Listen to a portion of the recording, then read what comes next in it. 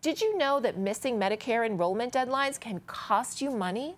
If you're coming up on Medicare eligibility age and have questions, or just want to be better informed about your options, the Kingston Public Library invites you to visit the Adams Center on Wednesday, May 1st at 6 p.m. for Prepping for Medicare. Whether you're entering retirement or plan to continue working, this seminar is designed to make the process less confusing and help you be confident the health coverage decisions you're making are the right ones for you. Visit the library's website to register.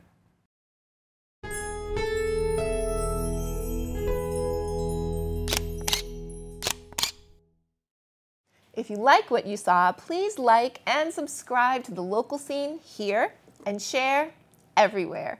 Thank you, friends.